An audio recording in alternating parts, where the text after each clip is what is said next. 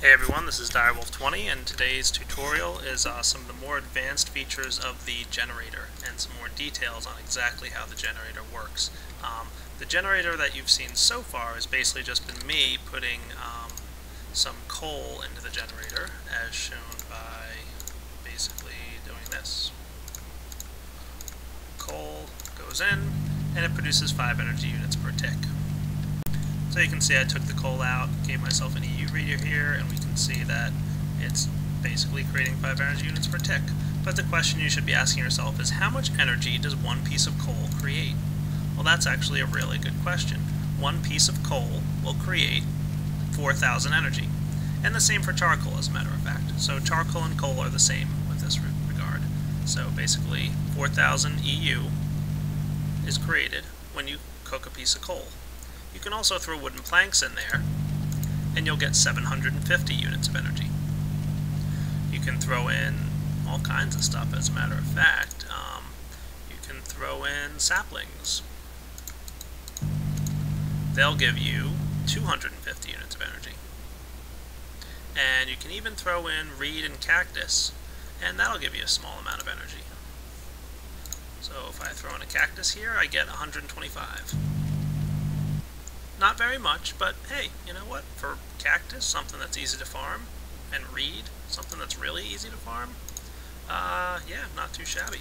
So why don't I just prove this to you guys real quick by giving myself a uh, MFSU here, grabbing some of this glass fiber cable, and just hooking this guy up directly. So he's currently empty. Let's throw one piece of coal in and see how much energy we get. Okay, the generator just ran out, and we've got precisely 4,000 units of energy.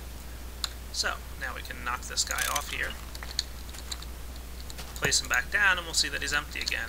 And I'll go ahead and place one wood plank in. How much energy are we going to get now? It'll be 750. Ta-da! And just in case you guys don't believe me for some reason, I'll go ahead and put a uh, sapling in there. That should be 250 and a piece of cactus or reed. Um, let's see, there's some cactus, I'll throw that in. This guy will create 125. That's how we got 375. So uh, there you go. Now I mentioned the coal fuel cell, I'll show you that once I create one. Um, so those are the lower tier units of energy that you can create. I'm also going to show you guys how to create a fuel of uh, can of fuel and that will be able to hold uh, 43,200 units of energy. So actually very close to 11 times the amount of energy that you can get out of a single piece of coal. And to craft this coal fuel cell, you're going to need six pieces of coal. So basically for six pieces of coal, you get 11 times the energy. However, it's a little bit complicated to craft and requires a couple different machines and a process to go through, so it's up to you if you really want to go through the process. Do you want to spend time and, you know, almost, uh, you know, double the amount of fuel that you're able to get out of this coal, or do you want to just be lazy and throw a stack in there? Really, the choice is yours. So, um, without further ado, let's get working on coal fuel cells. I should also mention that there are biofuel cells um, that can be crafted with plants. I'm not going to go into these in the tutorial, but just be aware that they're very similar with regard to um, how to make them as to the coal fuel cells. Just look up on the wiki how to do it. So a coal fuel cell can be created by taking some of the coal dust that we created earlier and combining it with some water. So, if we just place one piece of coal dust with a bucket of water, we get a hydrated coal dust.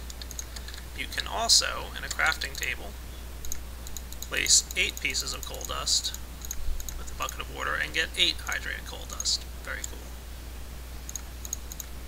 So I want to just create a little bit more of that stuff. That's hydrated coal dust. Okay, hydrated coal dust needs to be placed inside a compressor to get hydrated coal clumps. So hydrated coal dust becomes hydrated coal. Your hydrated coal gets combined with an empty cell to get a hydrated coal cell, which can then go into an extractor to get a coal fuel cell.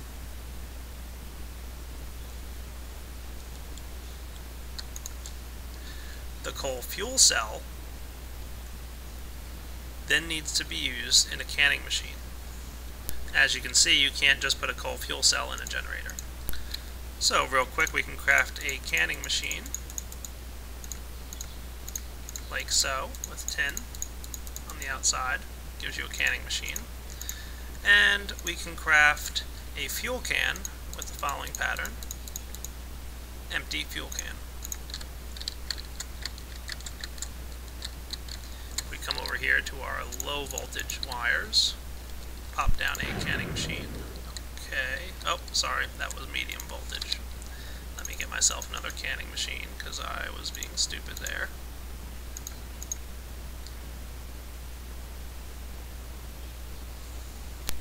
Okay, got myself another canning machine. Let's hook this up to our low voltage. Yeah, much better. Uh, basically, this works by placing your empty fuel can in the bottom and a coal fuel cell on the top. And you can see it processes. And I guess I can put multiple ones up here and let's see what happens. As you can see, it's uh, using up, and it winds up using six of these coal fuel cells to create a full fuel can. Okay, so I put 12 in there, it used six, and it created a filled fuel can. Okay, now that I've got my filled fuel can, well, I'll just go ahead and drop it in here. And you can see it gives me back my empty fuel can. So I can take that back and go fill it up again at some point and it's going to go ahead and fill up my generator a bit. So let's see how much it gets. I'll uh, clip the video here and wait for this generator to fill up because it is going to run for a bit. So you can see the fire has barely died down in the generator and we've already hit the 10,000 mark.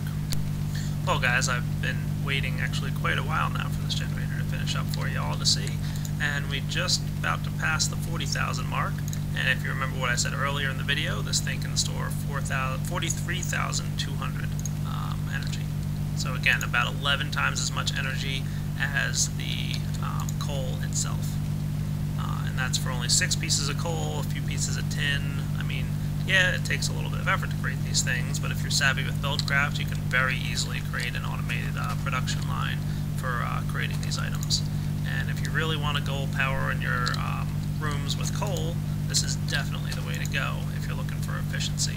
Now I did say uh, 43,200 but uh, I forgot to empty this thing before I started, so remember we had 375. So that's where the extra 375 energy is coming from. So 43,200 from that um, fuel cell. And the generator is now empty, and that's why we stopped. So if you want to go with solar, that's a very good option because it's basically uh, set it and forget it. You just, you know, don't pay attention. It just doesn't create much, and it does take a while to get started. Um, these guys, the generators, do a really nice job. It's really up to you how you want to power your factories. So, this is Direwolf20 signing off.